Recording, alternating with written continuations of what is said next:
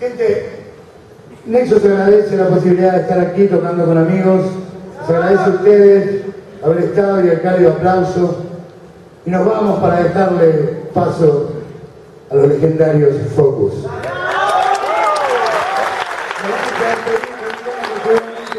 Nos vamos a que escuchar en vivo y es Metanoia. ¡Bravo!